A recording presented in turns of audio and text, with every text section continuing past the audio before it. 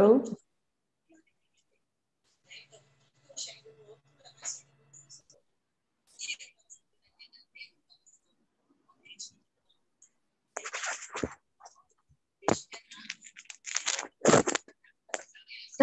good afternoon, good morning, wherever you are.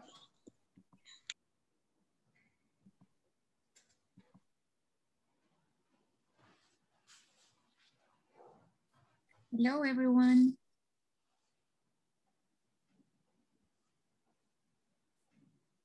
Should we start with introduction?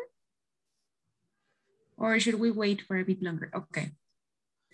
So hello, hola, hola, everyone. Thank you very much for joining CLAREC in today's seminar.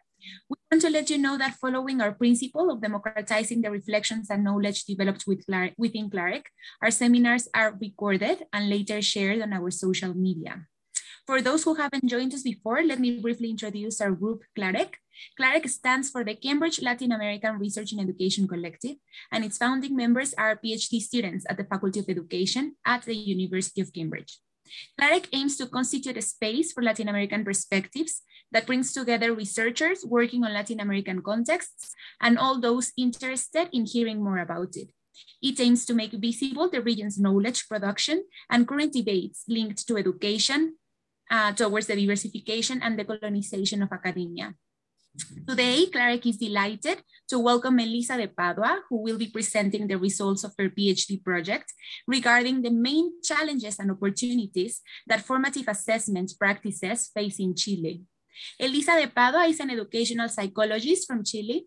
In December, this last December, Elisa passed her PhD Viva at the University of Cambridge. So we congratulate her on this huge achievement.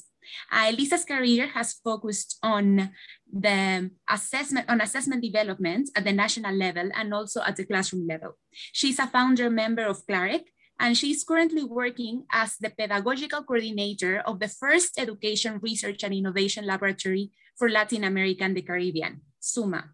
She's also the director of FEVED, the Chilean Forum of Professional Working in Educational Assessment. Thank you very much to Elisa for sharing her work with us today. Um, before giving uh, the floor to Elisa, I want to invite our online attendees to please write your questions in the general chat or directly to me. I will collect them and ask them uh, to, to Elisa at the end of her presentation to optimize the time. Elisa, I give the floor to you. Okay, thank you very much, Anna. Uh, my curriculum sounds very interesting in English. I haven't even I, I, I haven't heard it before in English, so thank you for that. Um, well, welcome everybody. Uh, today I'm going to present you my research findings of my PhD project.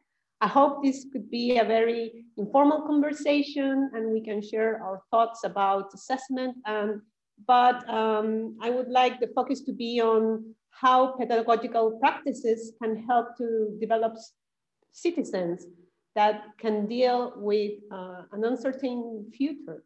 So but you will see why this is a concern for me.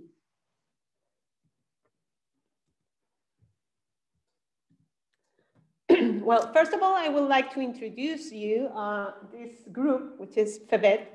Uh, Anna mentioned it. It's a forum of professionals working in assessment in Chile.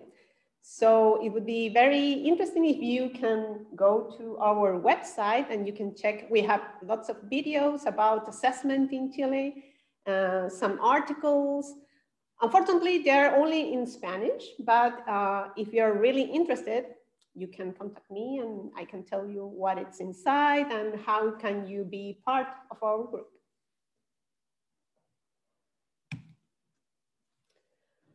Well, um, do you recognize this drawing? Yes? Um, do you know the right answer?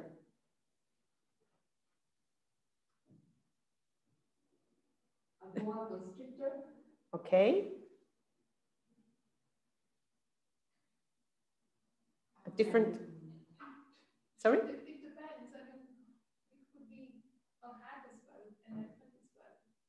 Mm-hmm.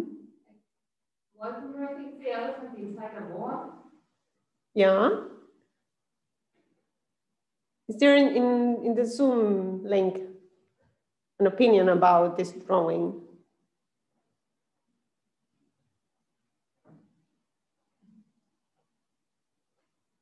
Yeah? Okay, well, this drawing is from The Little Prince. And I, I don't know uh, what your experience is, but in, when I was a student in school, these were the most typical questions my teachers asked after reading a book. And I would say that, okay, if you read The Little Prince, um, you can remember that this drawing was in fact a boa constrictor eating an elephant. But uh, for the people who was interpreting this, this drawing, the adults, this was just a hat. The elephant is inside the boa. So it could be any of these answers or none of the above. Maybe that's just a spot in the floor. So um, this type of questions uh, made me think about how important is to build assessments that can reflect uh, the deep meaning of text. So if you answer, if you, if you in fact answer a boa constrictor, which could be considered as the most correct answer, does it show that you understood the text? That you could uh, share the meaning with the author? That you can explain the text to others? That you enjoyed the text? Does that this text um, change your life in a way? I don't think so. But anyway, these type of questions are the most common, at least in Chilean classrooms. So uh, these were the thoughts that made me uh, choose assessment as one of the main topics for my research. So let me give you some contextual background. Uh, in Chile, we have a strong tradition of standardized and high stakes assessments, which are called the SIMCE tests. Uh, reading lessons um, have a limited participation of students and are focused on reading skills that are associated with localization of information, something that is very explicit, and automatic inferences. So there is no much reflection uh, on the classrooms. Uh, using assessment in a formative way is a weakness in teachers' practice according to the National uh, Assessment of Teachers. And there are significant inequalities, not, not only in students' learning outcomes, but also on how teachers uh, are put in schools. So the teachers that had more difficulties to teach their students end up in the classroom where students had more needs. And this, this is a picture of a protest in Chile. Uh, in 2011, students stood up uh, to claim for a better education. And one of their demands were about SIMCE, SIMCE tests. Test. They wanted SIMCE tests to be ended. And they used a quote from The Little Prince. The essential is invisible to SIMCE. So assessment in Chile is an important thing. Uh, regarding my conceptual background, I tried to look at assessment and at reading from two different perspectives. One that it was more focused on individual development and the other that is more focused on society and collaboration. So here you can see two contrasting quotes uh, regarding reading. One from PISA test that defines reading as understanding, using, reflecting on, and engaging with written text. And the other one from Freire, which is more focused on how reading can help you to engage with the world and change the world. And this quote is, the act of reading cannot be explored as merely reading words, since every act of reading words implies a previous reading of the world and a subsequent rereading of the world. So here you can see reading more as a social event, a social practice. But assessment can also be looked with these two different perspectives. You can see assessment from the focus on individual development, and here you have a definition. Formative assessment supports teachers and students' inferences about strengths, weaknesses, and opportunities for improvement in learning. It's a source of information that educators can use in instructional planning and students can use in deepening their understandings. So everything is focused on individual development. But also you can, you can look at assessment from a situated perspective where the context has more importance. In this quote, the aim of formative assessment in school setting is to develop students' capacity to participate actively in increasingly complex and diversified forms of co-regulation. In other words, to allow students to become increasingly competent co-regulated learners rather than autonomous self-regulated learners. So we have these two perspectives. I don't say that these perspectives are contradictory or that you have to choose one or another, but I think you need to be aware that there are these two different ways to define and to use uh, assessment and also to teach reading. Well, my research question was, what are the challenges and opportunities for teachers' formative assessment practices of reading comprehension in vulnerable classrooms in Chile? And my methodology, um, I perform a qualitative research using multiple case study. I had five cases. Uh, I applied interviews with system stakeholders, which were um, professionals working in teacher training or professionals from the Ministry of Education, teachers and students. I also collect assessment materials. And to analyze my data, I did a thematic analysis and discourse analysis.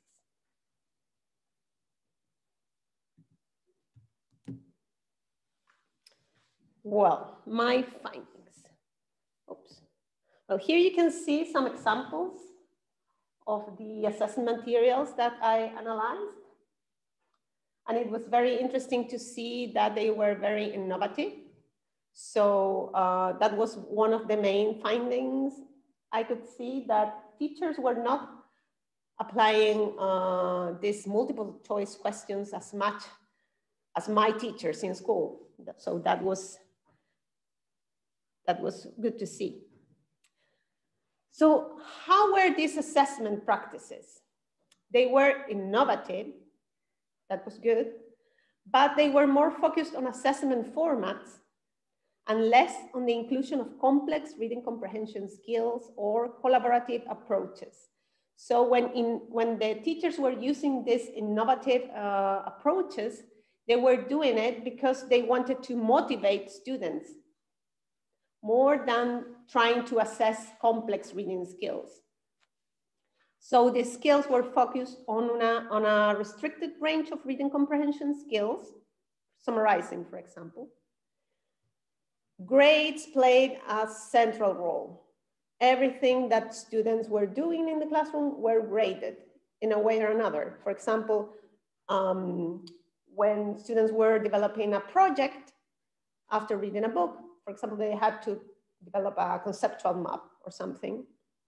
Part of the, the final grade was if the students could leave the room uh, tidy or if they participate, how many times they, they say that they wanted to say something to participate.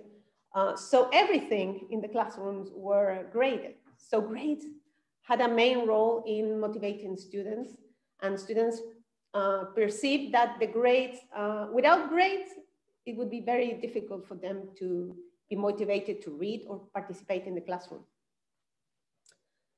So assessment sometimes were, was more aimed at motivating students than at evaluating their reading comprehension skills.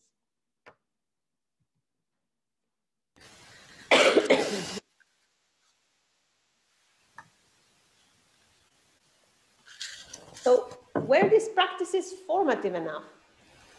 Because uh, as you could see in the conceptual background, formative assessment is about using the assessment results in order to improve learning. So were these practices formative enough? Um, in general, teachers' assessment practices were aligned with the formative um, principles so they perform peer assessment, they had clear criteria, they use rubrics, uh, but uh, the systematic use of grades, the absence of instances where students uh, could feel empowered as learners or participate in the classroom or in defining um, how they are going to be assessed. And the exacerbated focus on skills not related with reading comprehension blurred the formative purpose of formative assessment.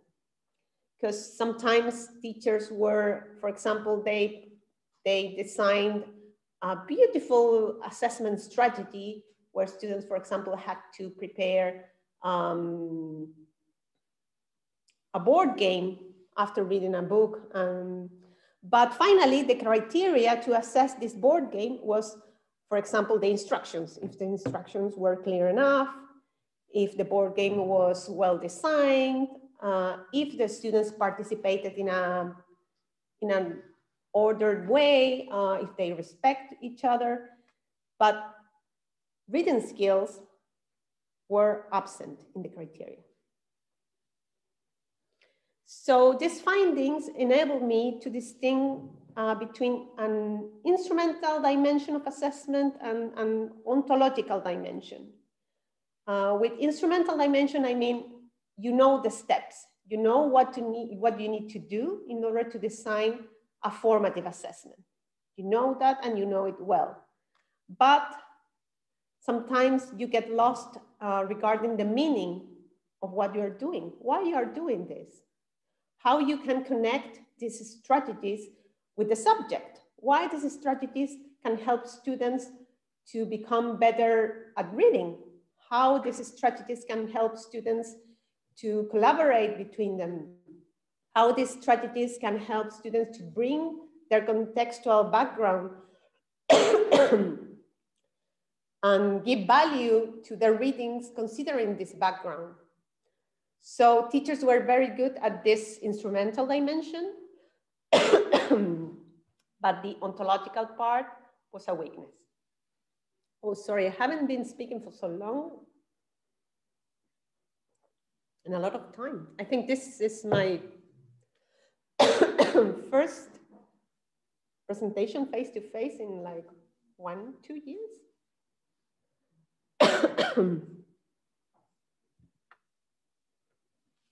well, so I could identify some challenges. The first one was that there was a lack of trust in teachers' professional criteria and the prominence of a traditional approach to assessment. So when I interviewed the stakeholders, it was common to hear that they didn't trust in teachers' capacities to implement a formative approach in their classrooms. So what they ended up doing is they prepare materials for teachers to apply in their classrooms where teachers' judgment don't have, didn't have any role. And even teachers have to sign a contract um, committing themselves uh, in not using the assessment results in ways that were not formative. So they had to sign a contract. So there, were, there was not, not trust in teachers' capacities. well, grades uh, were a powerful tool to communicate uh, students' performance and also as a motivational tool. And I asked students, oh, would you like to grades to disappear in your school? When I, I said to my supervisor that I was going to ask this to students, she said, why are you going to ask that? It's, obviously they're going to say, of course, I don't want grades in my school. But they say, at, at the beginning, I, I'm, I, I made a focus group. At the beginning, they say, of course, I don't want any more grades. But then some students, in, in all the focus group, this happened. Um, one student then say, oh, but if I don't have any grades, I won't be able to know if I am learning, okay? And then the other, oh, but if I don't have any grades, that would be unfair because I will study, I will make my best effort, but maybe a classmate, she, he will not uh, study, he will not uh, make any effort to learn, and we will go to the next level, to the next year level anyway. and that could be unfair. So at the end of the conversation, students agreed that it's a good idea to have grades because otherwise they would know they will not know if they're learning they will not feel motivated to learn. And another challenge is that teachers face a, a dilemma. They recognize SIMCE test as insufficient to assess their students but they do not find their, the appropriate support to transform their practices. So uh, teachers they know they know they have to change their assessment strategies. But when they try to, when they looked at the support that is given by the Ministry of Education, what they find is mistrust. They don't find support. And well, SIMCE tests have high consequences on schools. So they need to perform well in this test. So to do that, they try to camouflage their assessment strategies. Like survivors, one of the teachers used this concept, survivors. They're trying to survive the system by camouflaging their assessment strategies in a SIMCE-like uh, form. So maybe it's not that, as the stakeholder said, it's not maybe that teachers don't know how to assess their students, it's maybe that they are afraid of assessment and they try to make their best in order to survive in this system. but I also found some opportunities teachers uh, value the formative approach. They know they knew this was uh, relevant. They tried to uh, do their best in order to apply this formative assessment. They knew the characteristics of formative assessment. Uh, so that was an opportunity that needed to be taken uh, in order to support better um, the, the teachers. Teachers try to innovate. They uh, use their time to design more innovative assessment practices, uh, but as I said before, they lack of support. I also found some examples of practices that present the logic of right and wrong answers and where a student's background was valued and the, the interactions between students were also valued and were considered part of learning. And that was very, very interesting to find. And I have a quote from a teacher that I would like to read. Mm. And she said, I do not believe only in this kind of annotations that one makes in the middle of the process, only with a student, with one student. I believe that this contributes a lot to the individualism of the children and competition between them. So I think that addressing it collectively helps a lot.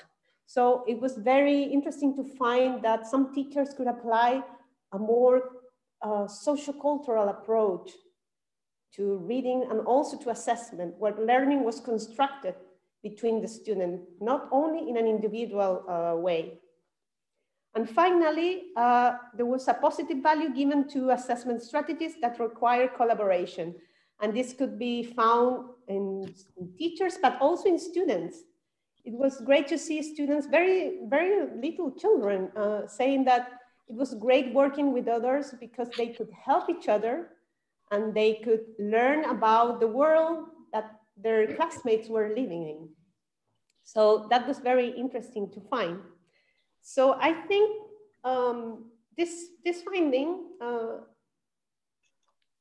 it's very interesting for me because I think assessment, even it, it can be perceived as a very technical thing, can have an impact on how you uh, develop citizens that are able to live in a world that is changing, that is very demanding, that is affected by the climate crisis. Uh, well, now we have uh, our peace threatened, uh, democracy has been damaged, we have fake news. So I think even that assessment can be seen as something very technical. Assessment can have a place in developing uh, more collaborative, creative uh, children. And it was great to see that some of these teachers could uh, show some practices that were uh, leading in that direction. So I would like to end with this quote from Maria Montessori. Everyone talks about peace, but no one educates for peace. In this world, they educate for competition, and competition is the beginning of any war. When educating to cooperate and owe each other solidarity, that day will be educating for peace. And I think assessment, as any more other pedagogical strategies, uh, can be considered as a tool for educating for peace. So I have this question for you. How do you think pedagogical practices can prepare students to live in a world where democracy, peace, and the planet are threatened? Um, well, thank you very much. I will leave this question for you in case you want to answer, or if you have some questions for me.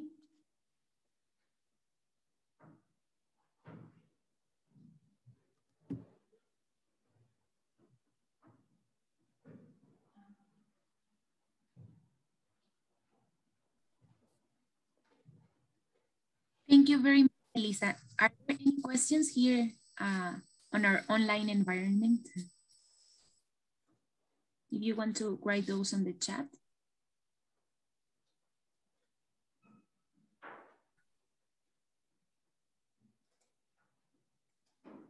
Or a contribution to answer to Elisa's question.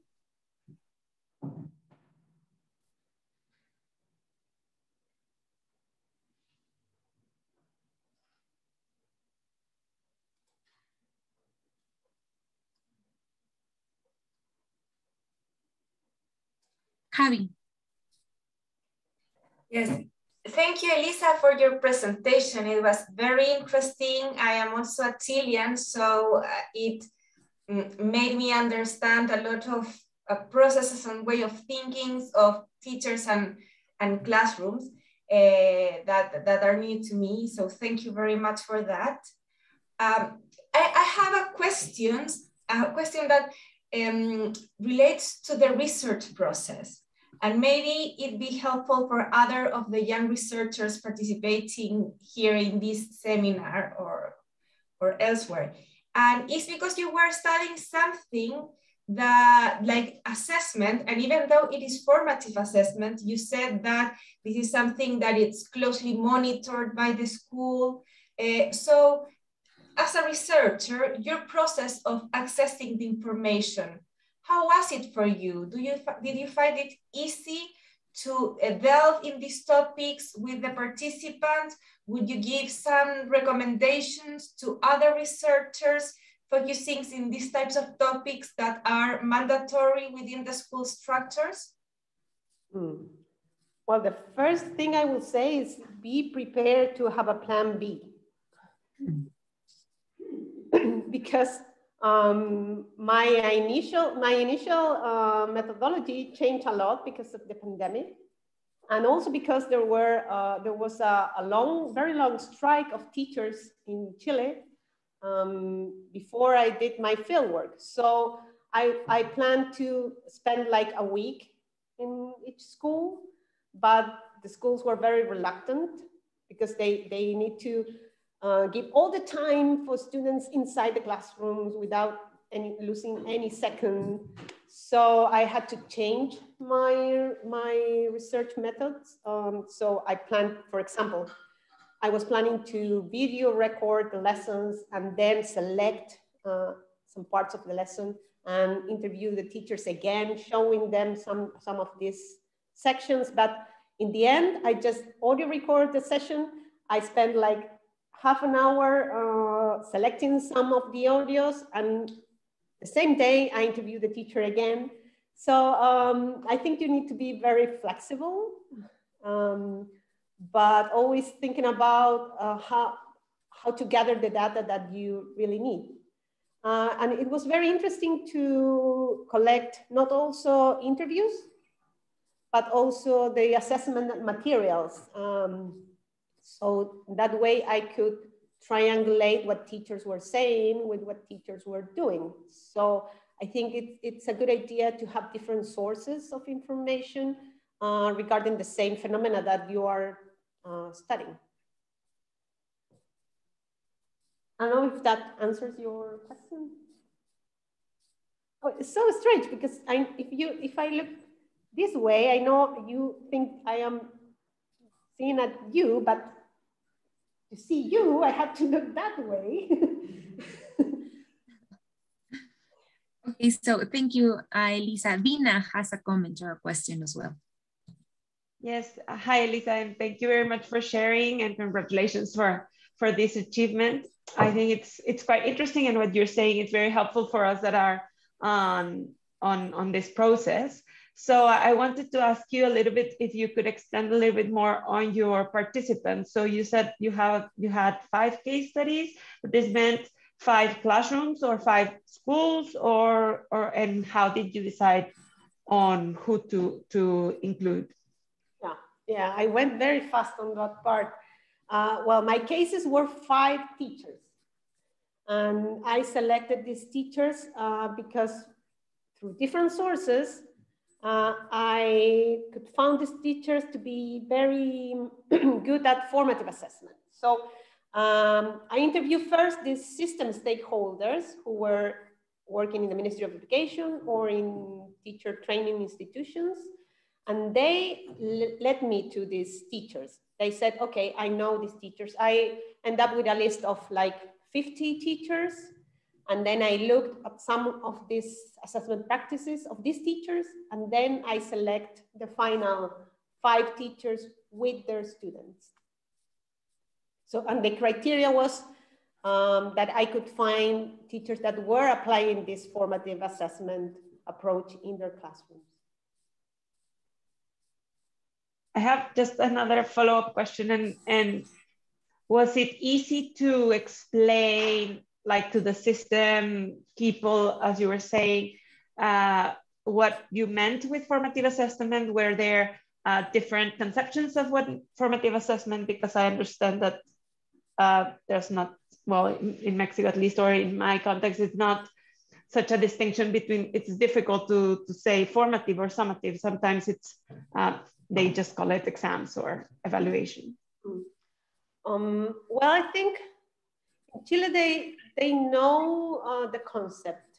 Uh, when you say formative assessment, people think about, about something. I don't know if they think about the same thing, but they know formative assessment, for example, uh, SIMCE tests are not formative. They will agree on that. And sometimes maybe they say, okay, summative assessment is when you uh, students get a grade at the end, and that's summative. But I didn't find um, any difficulties in, in, in explaining this, or nobody said, okay, uh, oh, what are you talking about? What is this? Uh, they, we could understand each other using this, this concept.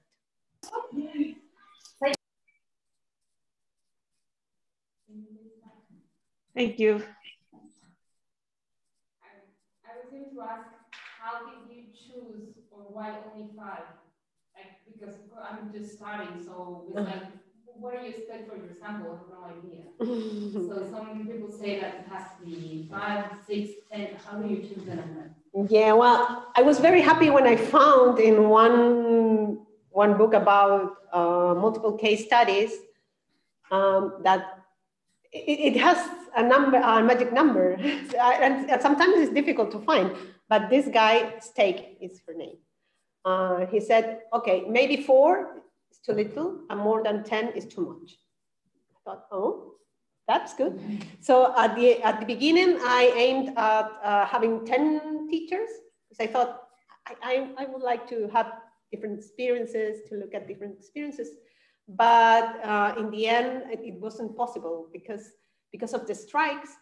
Uh, some teachers said, oh, sorry, I don't have the time to do this. Um, so I end up with five because those were the five that wanted to do this.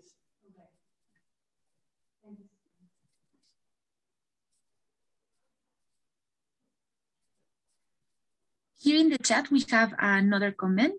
Uh, Andy Smart um, asks, or well, says that he would be interested in your teacher's thoughts on the question that you uh, mentioned I don't know if you had the opportunity to talk about these topics with your teachers um, and you would like to share something about that, Elisa. Uh, I don't know. I'm not sure if I, I got the question right.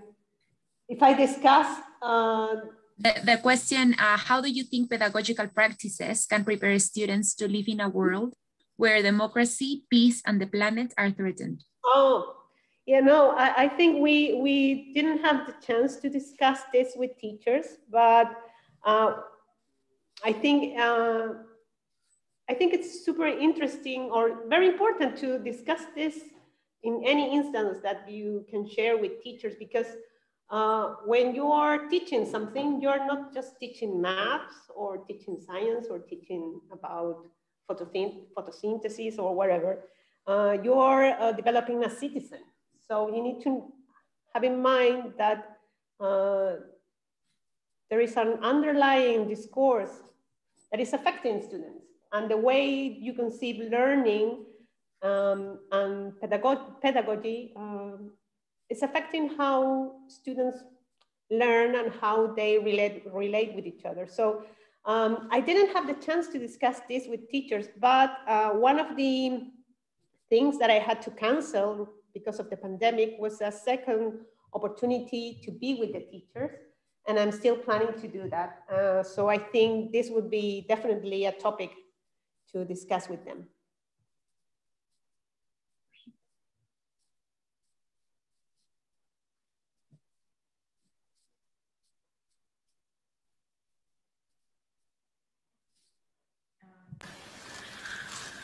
Elisa, can I ask a question?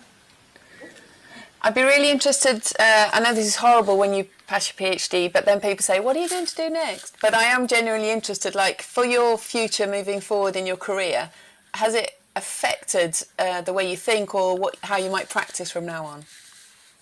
Um, well, I think uh, while I was doing my my research, I in, in a in, in a parallel world, I was very concerned about the climate crisis. But these worlds were parallel.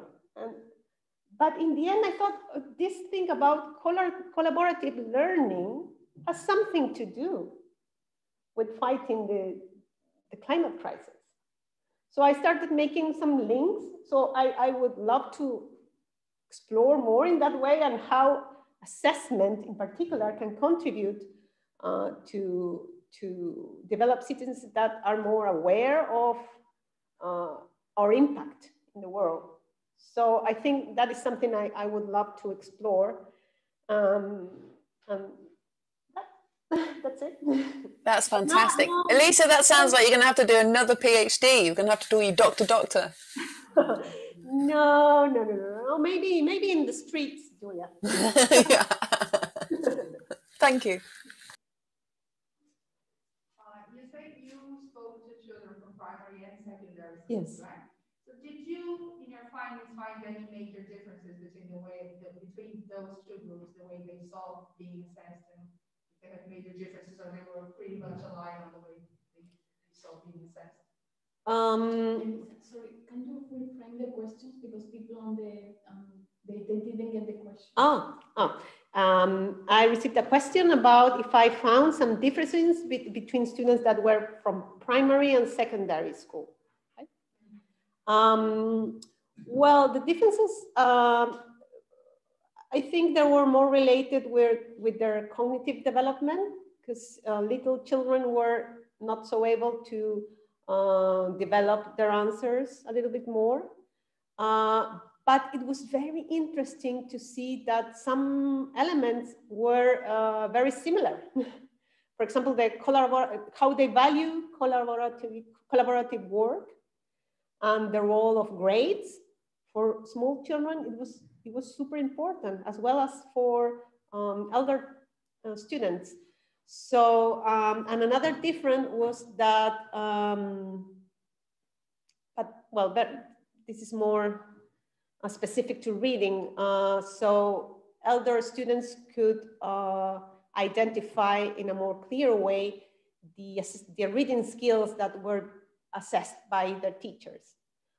But younger students, uh, they offer more general responses. It wasn't very clear for them if they were being assessed uh, by their drawings or their capacity to uh, summarize the text. So those were the differences.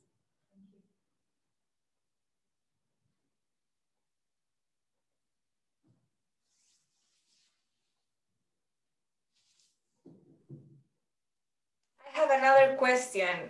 Uh, it's just that I think that this topic we can discuss it so much, and I wonder because of course you studied in a specific context that is Chile. Um, Chilean. I don't know if you studied only public schools, but or also private. But I wonder if you could make some reflection about to what extent your results may apply to other contexts as well. Would, would you say that your findings are very context specific of the Chilean reality? Or did you find any rationales or logic that you think may be of use to understand formative assessment practices in other educational systems too? Um, well, I think this distinction between a more instrumental approach and a more ontological approach to assessment is something that can be useful for different contexts. Um, and also I think that uh, in particular, there was one teacher that was very, very good uh, in developing collaborative uh, assessment strategies and in um, motivating students to really, really reflect on, on the text and the connections with their backgrounds. So I think um, the, the, first, um, this, this distinction between instrumental and ontological approach to assessment could be one thing, uh, something more general. But the examples I could find in my research, I think they are also very useful to see that even teachers that are working in very, very, very socioeconomic vulnerable school uh, can apply uh, interesting strategies that can help students to reflect and become better at reading and better at collaborating. Thank you.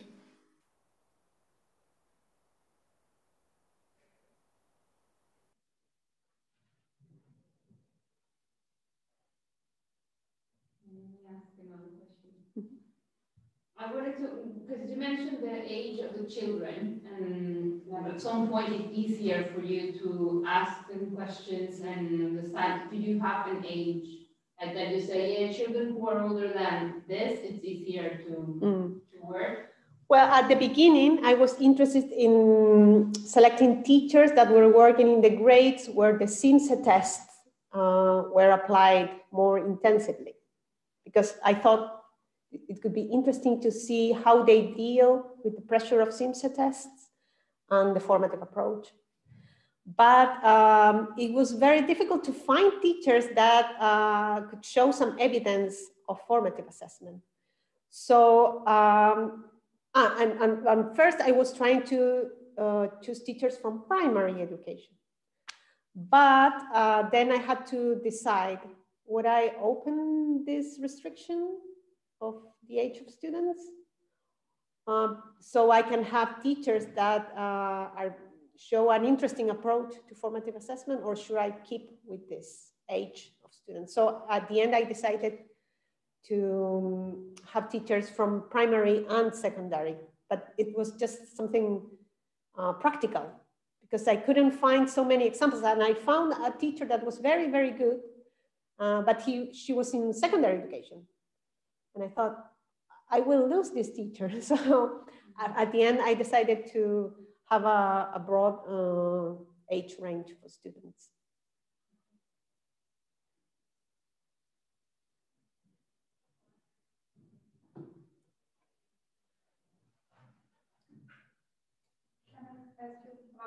Yes, of course. I don't know it's part of the scope of your research, but I'm curious to understand. So they being assessed for reading, uh, how could the teachers um, help those students, um, the ones with some privileged backgrounds, if they don't have access to books, for example, or families that read books at home with them. Those schools, do they have any programs for, for improved literacy or to improve reading skills from those uh, who fall behind compared to their peers? Mm. Well, all of the schools that were in my research uh, were, uh, were working with students from a low socioeconomic, socioeconomic background. So, um, and, and that was a question for students. And most of them, they bought, they bought the books. And some of them, they, they went to the public library to get the books. But uh, except for one teacher, um, the students had to get the books by themselves. And that was uh, very disappointing to see. Um, the, the, the teacher that, um, this other teacher, she tried to use the books that were provided by the Ministry of Education so the students didn't have to buy any books. But in most cases, uh, that was not happening. And uh, there was one, one of the teachers reflected on that sometimes families could be an obstacle for developing good readers because they had to buy these books. Um, and she remembered about one of the parents say, now you have transformed my kid in a, um, how do you say in English, like a warm book? warm, yeah, is that, is that correct? Warm book? Bookworm. um, and now he's asking me to buy more books and I don't have the money to buy the books. And he was very, very angry. So it's, it's a thing, the access to books, uh, it's not so easy. They have libraries, but not enough books for each student. And well, the, the students that were more motivated, they went to the public library and, and lots of them, they also used some apps to download books. But they say, oh, but I don't like that very much because sometimes the WhatsApp is popping and Instagram. And so that was an issue.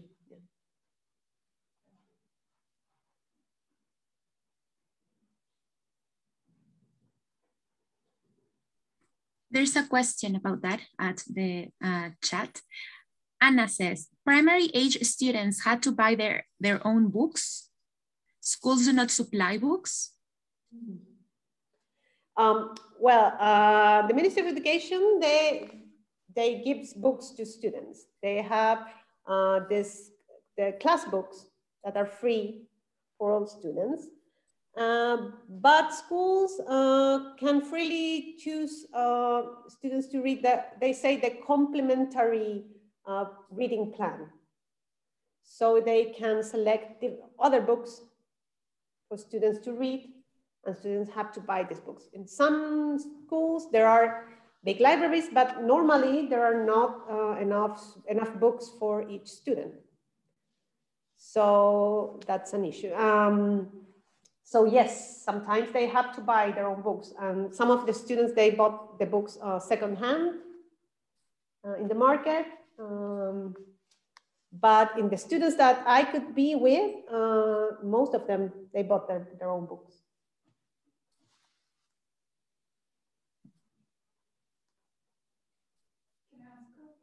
Mm -hmm.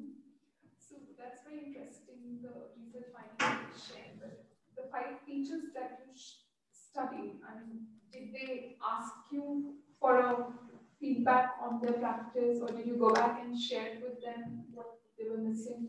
yes, um, well, they asked me uh, for some feedback about their practices, and that was supposed to be the second part of my research. Uh, but because of the pandemic, I couldn't go back to Chile and perform the second part. So that is something I plan to do now. So yes, but I think that it would be super interesting for them to know each other because uh, I think they had very great ideas about how to assess their students and the challenges they were facing. So I think just to uh, put them together, putting them together in a group, that could be so interesting for them, even if I'm silent. Do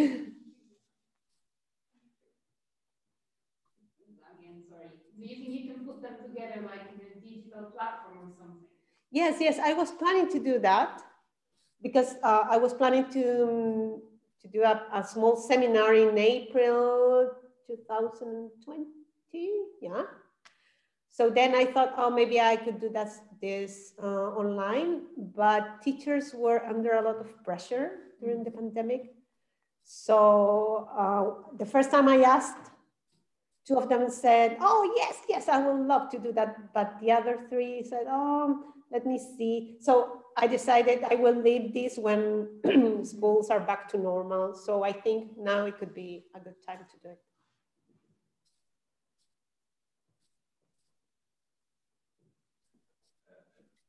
Here in the chat is some, oh, sorry, go ahead uh, there, and then I'll ask this. Hmm? Yeah, um, so my question was um, about, both you mentioned the practices of some of the teachers and then also perhaps giving some feedback. Uh, I want to know how you uh, evaluated which ones were good, like what was the criteria for being a good either practice and also outcome as well, like what was considered successful delivery? Sorry, how, how they? So you're saying that some of the strategies were good. Mm -hmm. um, I want to know what, like, what, how was that uh, graded? Like, what was, like, did you have a, a, plan going in of a framework of what is good and bad? Uh, and also, like, then you might go to feedback to somebody. And also, you mentioned, I think, a male teacher who was good at engaging and creating good readers. I want to also know if you report the, like, what the measurement for that was. You also presented two different possible theories about what reading even was. Mm -hmm. So the first part is about uh, which criteria I use to um, identify good practices, yeah. right? Yeah. Um, well, regarding that, um, I followed uh, Wiliam's um, description of the dimensions of formative assessment. So they have to use uh, uh shared criteria, peer assessment, um, formative uh, feedback. There were two more. Uh, students uh, should feel empowered after learning. There is another one I can't remember. so I tried to look at this criteria, but also I wanted to look at what assessment, what reading skills were being assessed in these uh, strategies. Um, and that was very, um, it was common to see that most of the assessment strategies were focused on either things that were not related with reading comprehension, like handwriting or how do you participate in the classroom. And when reading skills were considered, it was more about uh, summarizing information or very, um, very simple inferences. So when I say that a strategy was successful, it combined uh, assessing a broad range of reading skills and also uh, um, achieving this criteria defined by Wiliam for formative assessment. And the other part of your well, question? Well, you to some extent, but I was about when you, you mentioned about that same teacher, I think, or uh, they created good readers. Oh. Uh, I was interested know how that, like, you mentioned that just on their exam results or how that was um, yeah, well, I, I didn't look at, at students' reading skills. So I, I, I don't know if they were developing their reading skills or not because I didn't apply any tests or anything. So that it was more about um, inferring that if you are giving the, giving the opportunity to, stu to students to uh, show how good readers they are, then you can think that maybe they are developing good readers, but I couldn't check.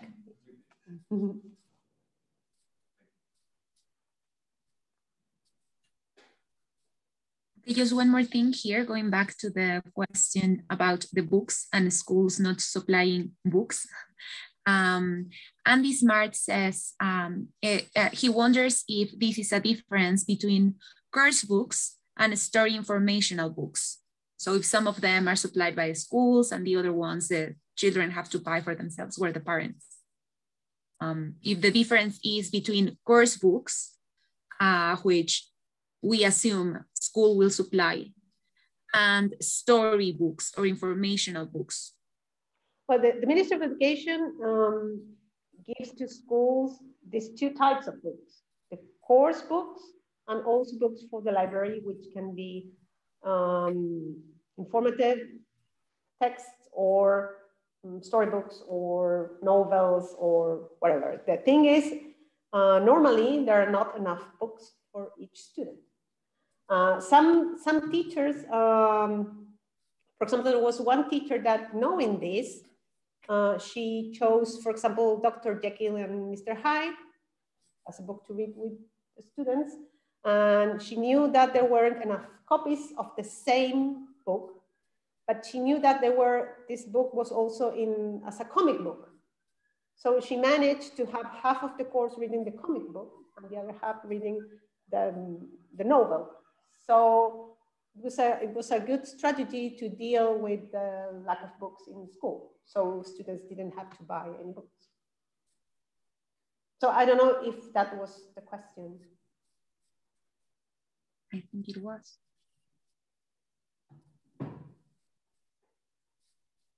Okay, so we are approaching the end, but we have one last question. I don't know, if we'll have the time, but I will just read it out loud to you. Um, it says, oh, so can you see the chat over there? I don't know. Yes, yes.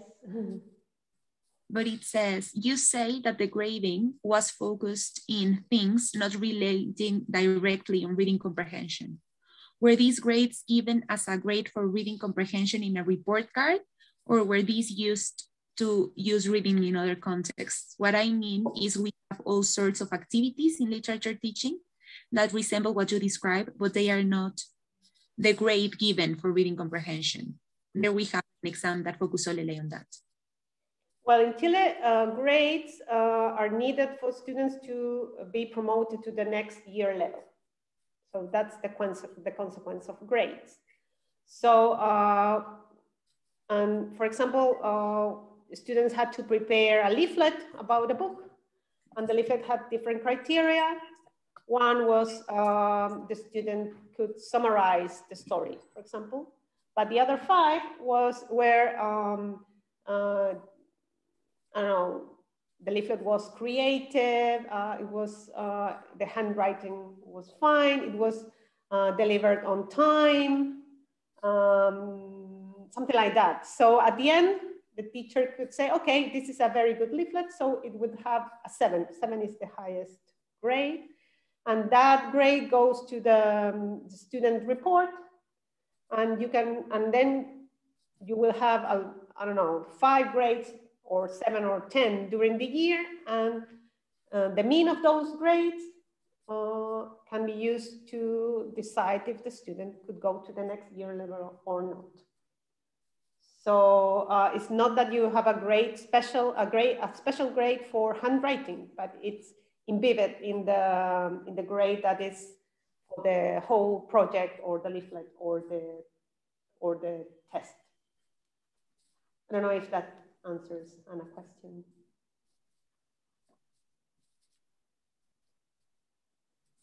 I think it does. Okay, so thank you very much uh, to Elisa for a fantastic session on the main challenges and opportunities that formative assessment practices face in Chile.